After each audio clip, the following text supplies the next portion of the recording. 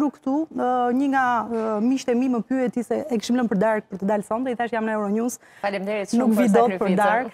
Edhe më pyeti, po për çfarë je, i thashë për këtë vendimin e fundit që ka thënë kryeministri në lidhje me juridiksionin. Më tha, po s'e kuptova, në fakt ai është jurist.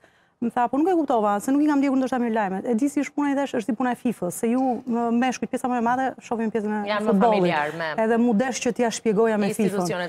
është si një skuadrë që të luajë në FIFA, nuk i pëlqen ndeshja në FIFA, dhe i thotë FIFA-s mirupafshim, sepse nuk më pëlqen më që të jem pjesë e jotja. Tani ne e duam FIFA-n, apo nuk e duam FIFA-n, kjo është çështje e të zgjedhurit shqiptarëve. Kështu që nuk do thosha që kjo është një lloj etiketimi, do të thosha unë, në fakt makiazh politik, diskurs politik, Unë nuk besoj që ky lloj vendimi për të dalë nga juridiksioni i forumeve të tilla, të arbitrazheve, të organizmave të tilla, sepse kemi disa, nuk është vetëm një organizëm që ka gjykuar çështjen Beketi, por ka disa dhe Shqipëria në 90% të rasteve ka qenë humbëse.